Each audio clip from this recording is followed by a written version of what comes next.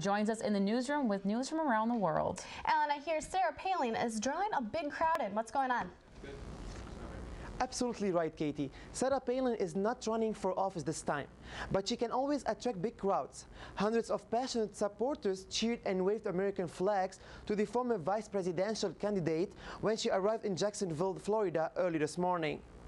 Palin is in town to promote her new book, Going Rogue, American Life. 500 tickets were handed out Monday, and customers had the chance to meet Palin for an autograph at the event.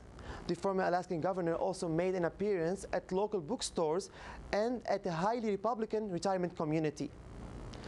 The US President and Indian Prime Minister have pledged to fully put into action a nuclear accord after talks in Washington, in addition to reaching agreements on issues as diverse as international security, job creation, and climate change.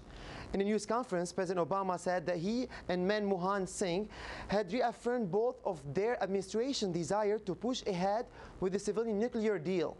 The deal allows Washington to authorize selling advanced nuclear-related technology to India, reversing more than 30 years of U.S. policy banning the export of nuclear material. Spanish authorities have arrested 34 people near the capital of Madrid who, who, they say were members of a youth group associated with the band group Basque separatist called ETA. The US, Spain and the European Union classified ETA as a terrorist organization. The group is accused for more than 800 deaths since 1970. Police have arrested more than 70 ETA suspects in Spain and France this year alone. The Interior Ministry of Spain stated ETA terrorists continually create street violence. The suspects were to be taken to Madrid for court appearances in the upcoming days. For more information, visit tvsnews.com and I will join you at 5.30 for more updates on the stories.